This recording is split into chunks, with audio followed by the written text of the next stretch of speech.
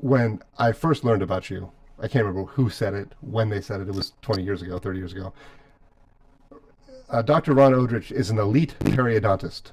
And when you describe yourself, you call yourself a dentist. What is the difference between a periodontist and a dentist? I know like a periodontist does some sort of surgery or does some sort of procedures that a standard dentist doesn't do. You don't have to talk about it a lot, but just for me, I'm curious about like all this stuff.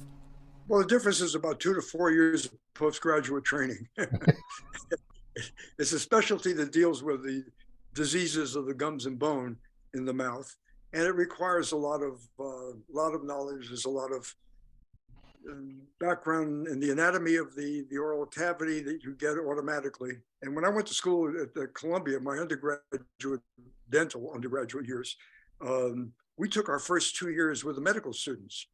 We took all the courses of the medical students, on top of which we had to learn uh, getting started with some of the, the, the dental technical aspects, which made the first two years really daunting. But they were wonderful in that they laid down a very, um, in this school, that school in particular, a very fundamental scientific background for the time that was um, invaluable, absolutely invaluable. And then you, I went on, of course, became a dentist and got my DDS and went, uh, continued on um, for several years. Actually, took me four years.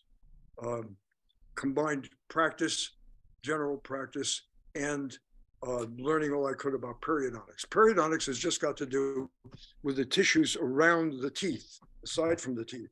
It's got to do with the, the, the diseases of the gums and the bone, the effect of bone loss.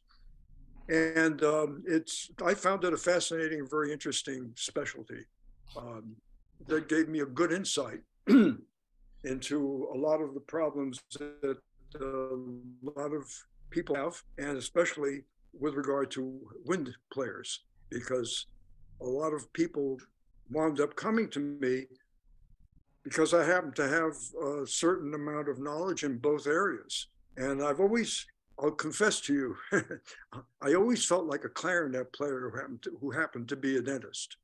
That's really been my personal identity because uh, through all of that, I always I always continue to play clarinet to practice as much as I could. Of course, I was a father and a husband, and you know all the stuff that went with that, and still does. And um, but you know the love of the of the instrument, I think, brought me to a junction where there are things that I know about the mouth that have been very significant. I think, and and and giving me the ability to help some people. In some instances, made the difference between their being able to play and not play. So for me, the combination was I mean I couldn't have asked for anything better. There's probably many dentists and periodontists that play the clarinet, but not like you play the clarinet, and not with the experience that you've had and the people that you've known and the things that you've learned and the ability to connect all this information. And now I'm going to put you on the spot a little bit.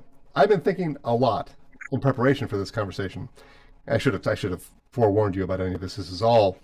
No, go ahead. Give me yeah. give me give me give me a curveball. So I've been thinking a lot about how I don't even have a reed on this. I'm going to put a reed on it just so it feels normal to me. I've been thinking a lot about how the clarinet goes into my mouth. Can I ask you a clarinet player's question? Sure. What kind of mouthpiece is uh, that? This is, yeah, no, I should I should disclose that this is a, a B as a Vandoren BD4. Yeah, which, I figured. I would love to see your mouthpiece collection because I've got too many mouthpieces. I, you know, I've I've I've played on and loved many different mouthpieces, and as like I feel like every mouthpiece I have, it's it's like it's it's a it's never a marriage. It's just a sort of, it's we get to know each other quite well for a couple years, and then I move on.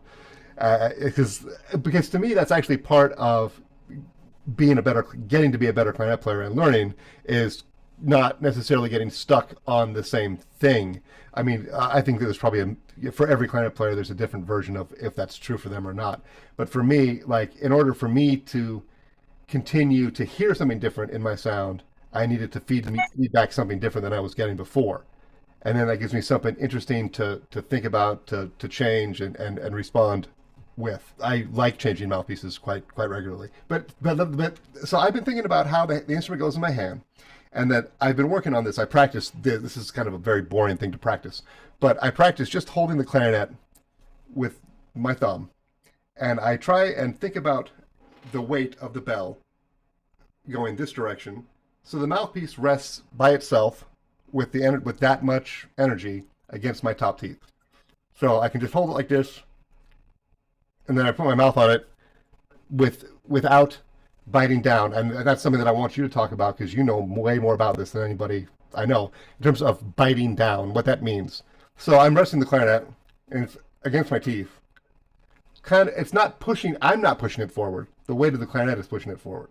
And then I put my mouth on the instrument, only the, the degree to which it takes pressure to make the reed vibrate. As a launching point. Tell me I'm wrong, tell me I'm right, tell me what parts of that you agree with, disagree with, and, and sort of wrap around what you think about that I, this thing about how to how do we have the clarinet in our mouth and, and what angle and why and what it does from a clarinet standpoint and from an oral cavity standpoint and all the things that you know about that the rest of us don't.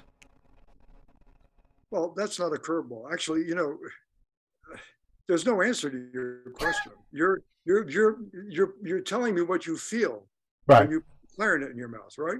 No. That's neither wrong nor right. I mean, that's what you feel. And I'm not playing games with you. That's that's that's right. You're you're right. The, the bell does uh, the bottom part of the clarinet. It's like a fulcrum. Your, your Yeah. thumb is the rotating center of the fulcrum, and the clarinet has a tendency to to do this. You know, it's just it's this kind of of motion. Um, you get around that, by the way, by wearing a strap. And I think a strap is a very, very important part of playing the clarinet. First of all, because you can remove some of the weight bearing interference on your thumb, your right thumb, because it has to hold the weight of the clarinet. Uh, that certainly is going to, uh, you know, I, it's a subject that I'm very, very aware of um, in terms of angulation.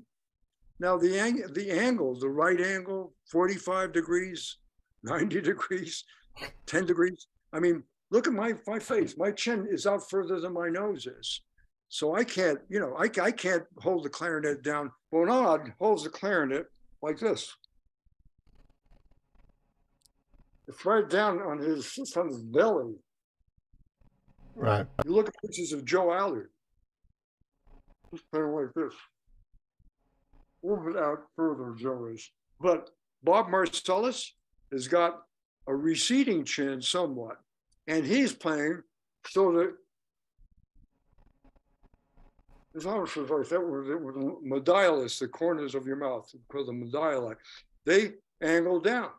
And uh, most clarinet players, legitimate class legitimate, symphonic clarinet players, they're not they're not playing with, with the tradi- traditional smile with the upturned corners of the lips. A lot which is what a lot of people teach.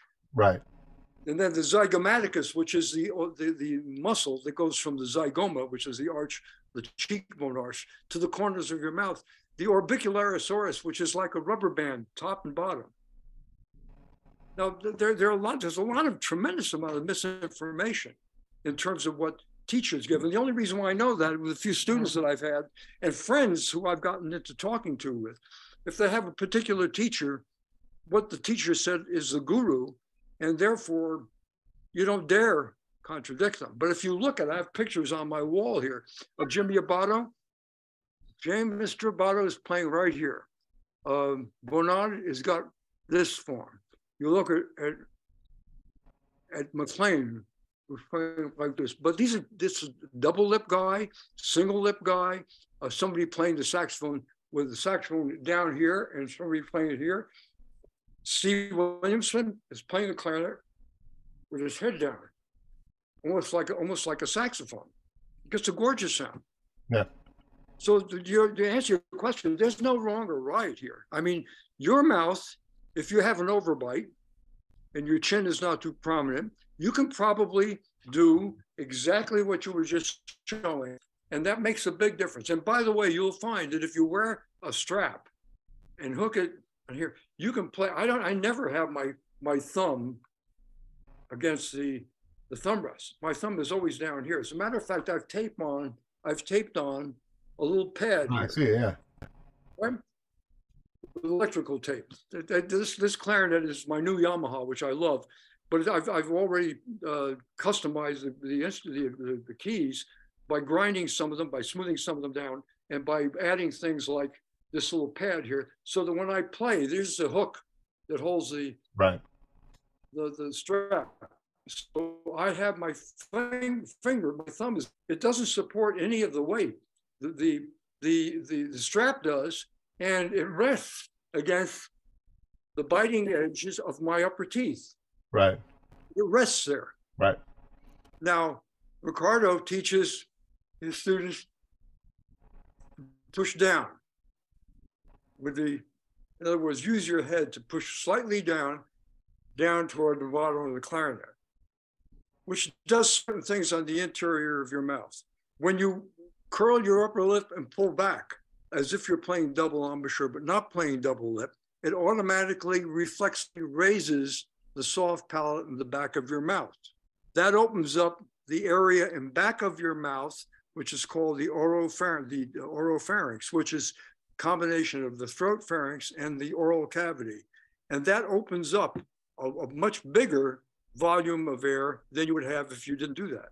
So when you play and grip the mouthpiece with your lips, I think the person who came closest to describing it properly was Henry Summer, who said, You just hold the mouthpiece with your lips around as if there was an elastic band going around. Now, there are people who say you shouldn't push up against the reed because if you do that, you're going to dampen the, the vibration of the reed, which is nonsense. You can't push up without pushing down.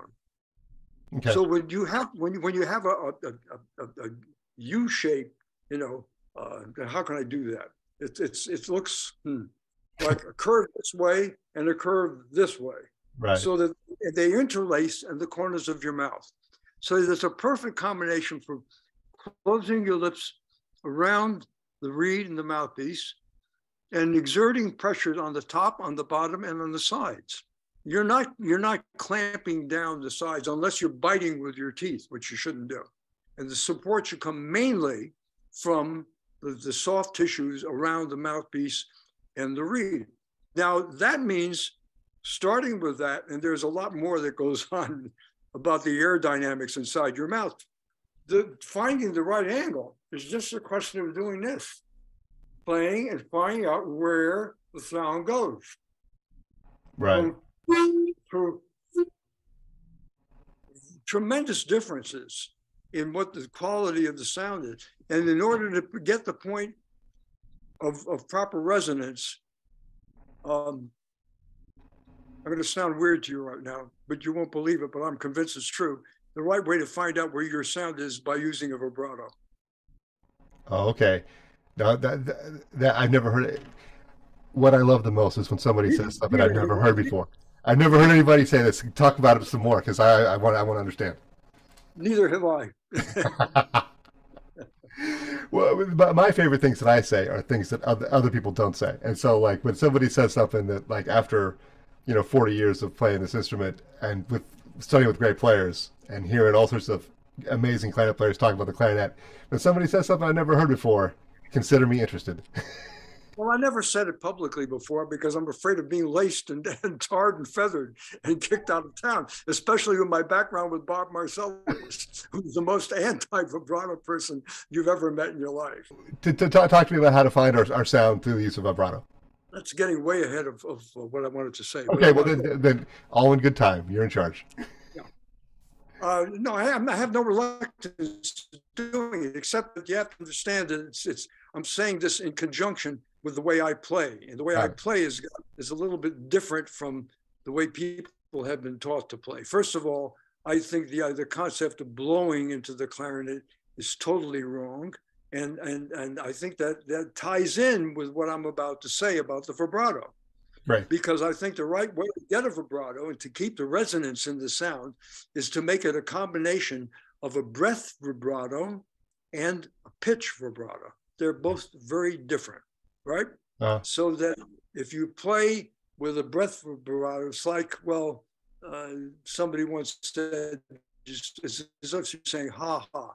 Well, that that's okay, but you have to do the ha ha ha without any sound, no vocal uh, vibration in your throat because if the larynx is involved, you're cutting off the air. You don't want to do that. Right. But if you were to go very, very soft and then use the, the, the, the lip contractions to coincide. Now, listen carefully. I'm trying. When you blow a little bit more into the clarinet, or you exhale a little more forcefully, which is the nomenclature I prefer. Right. What happens as you get louder on the clarinet as opposed to the flute, it gets flatter, right? Yes. Yes. So if you have to add a pitch vibrato to that, guess where you do it? You do it at the crescendo. Okay. Like, and you have to start off, however, with your tongue, the tip of your tongue, right near the reed. Now, I've heard several teachers tell me when you want to get a really good sound, legato, make sure your tongue is near the reed. Well, you know, that doesn't mean a lot to a lot of people. And I was a dentist who's treated some very fine clarinetists and asked them to do things with their tongue to get them out of the way for me to get to someplace. Right. Like the instruction is take the tip of your tongue and put it up toward the left palate, and that happens. They, they don't know what to where to do with it. Right. And I have to take the tongue and place it where I want to and say, keep it there. Now, these are people who are playing all the time. Right. And they're maybe staccatos, they're playing legatos, they're playing, you know, they're playing uh, open sounds. Um, so I think the control of the tongue has to be taught. And I think you have to teach it in a certain way so that when you're playing, you can play, you can teach, train somebody to play a, an open G and pull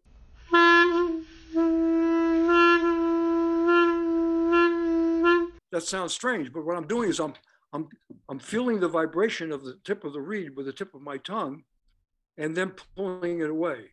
And just Yeah. the minute you get it away, so that it gets a, a sound with no muffles down to it, that's where the tongue should be. That's where it should stay. Now, if you want to then, on top of that, get a, a, a- a sound vibrato, a volume vibrato,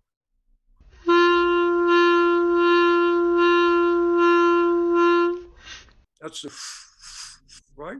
Right. And then a pitch vibrato would be yeah, yeah, you hear that Yeah. together.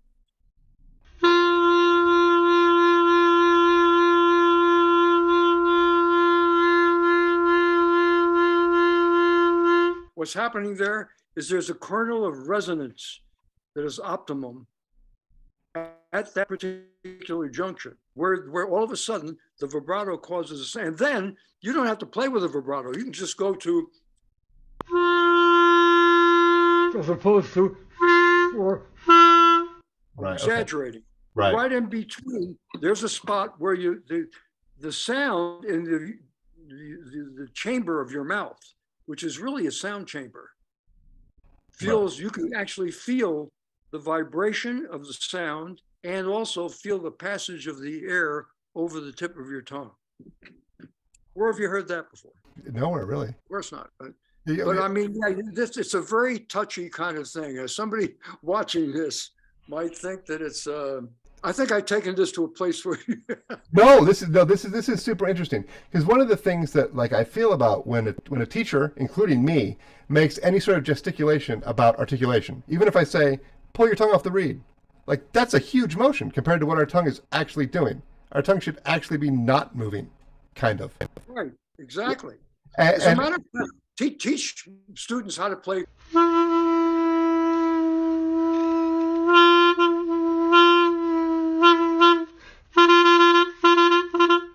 That, that way you can get the tongue right to where you want it. what is what is that phenomenon? If like we have a hair in our mouth, it feels huge, but it's not.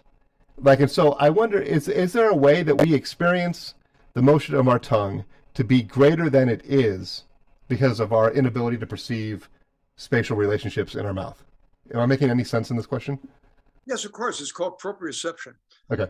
Proprioception is knowing where your where parts of your body are without uh, necessarily looking at them or seeing them. Because the tongue, by far, is the best friend you've got. It's where you put the tongue and what you do with it. I'm going to give you a theory that I have that I don't oftentimes say out loud. I maybe never said it out loud, except to very close friends. I think I, I consider my tongue in two parts the consonant part of my tongue and the vowel part of my tongue. And they're largely unrelated, except for I need to be sure when I'm articulating with the consonant part of my tongue, the very, the very tip of it, that the vowel part of my tongue, the voicing part of my tongue, is not moving in conjunction with it. Does it, does, does it sound like it's accurate information? Well, it depends. I mean, if your tongue is going up and down or if it's going back and forward. Right. If it's going back and forward, the entire tongue has eight, it has eight muscles. Right. It has four intrinsic, four extrinsic. The four intrinsic makes the shape of the of the of the of the tongue. Make Right. it curl, make it flat, make it arched, and then the the other four are to move it up and down and sideways. So Right. it's a very complicated, a very large muscle, and if you let it get in the way of articulation, which you can do, then it's it's very deleterious. But if you keep the back of the tongue down, down and back, Mhm. and only get up to that E, which everybody talks about. Everybody does talk about that. Yeah. E. You're you're you're you're interfering with. You see, you can't do that. You you you shouldn't do that. The reason why is because the palate, the hard palate, in some instances is highly arched. In some instances, it's flat. If you try to make an E with a, with with your tongue and then you have a flat palate, the back of your tongue here is Mhm. going to practically destroy the column of air. Now, what that does, as the air is coming up, your oropharynx say, this is the back of the tongue, this is the tongue, and this is your your your hard palate. If if the back of the tongue is squeezed up against the the the, the fastest point, the most the, the most the, the most velocity you can get is right after that opening, back up in here, which is not where you want the velocity there to be.